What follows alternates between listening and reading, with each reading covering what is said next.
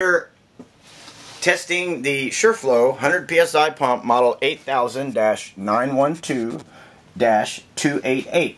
This is a 100 PSI.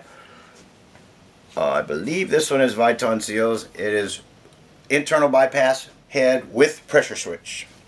This pump's designed to switch off, pressure switch off at 100 PSI. Typically, they will run anywhere over 75 PSI through a number 3 tip.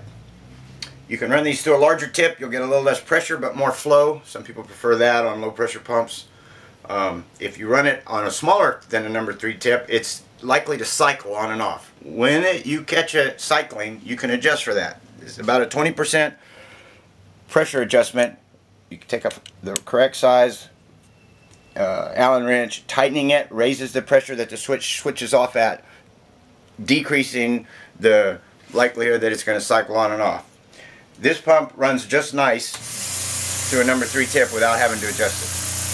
If we're running a number 2 tip like on a hand tool and it was cycling on and off, you would just turn this clockwise so it stops cycling.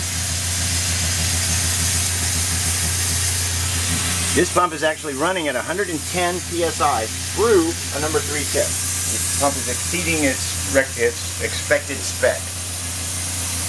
We ran this pump for about 30 minutes before we began this test just to make sure it didn't overheat and shut off or there wasn't any other situation with it.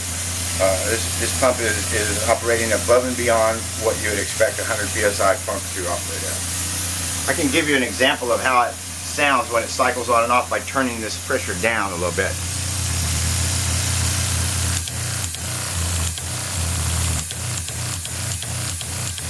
And when it's doing that, the pressure is pulsating coming out of the tip.